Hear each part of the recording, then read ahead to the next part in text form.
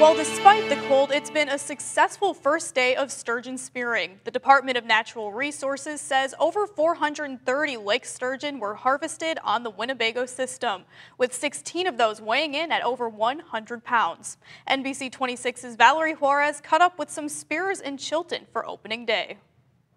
After months of anticipation, this was a weekend many were looking forward to. For Dennis Bassler of Chilton, Sturgeon spearing is a sport his family has been a part of for generations. Yeah, it's been going on. I know my dad did it already. I did it when I was 14.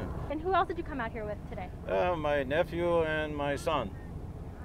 And my son and grandson are coming out tomorrow. And while it did look a little different this year with the changes of the registration stations, Bassler says he's just fortunate he caught a big one early on. Yeah, I got it about 9.30, you know and uh, come in about halfway down. It looked pretty ni nice, you know, good shape. So I thought, well, I better take it. You know, I might not see another one.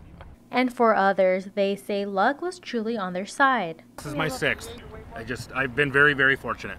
Very fortunate. Devote a lot of time. It's my favorite thing to do. I love it. The Department of Natural Resources says They've seen an increase in activity this year compared to years past as a result of the water clarity. We're averaging uh, 12 plus feet of clarity on the uh, Lake Winnebago and the upriver lakes. It sounds like clarity is really good there. They can see bottom in most places.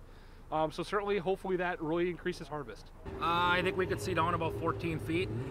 So we were just out of Stockbridge here a little ways and it's, it's much better than years past. And while some spears did have to go home empty-handed, for many, they say it's all about the long-standing Wisconsinite tradition and simply having fun. And it's cool to see like um, how many people are lined up just to like watch everybody, um, just measuring the fish.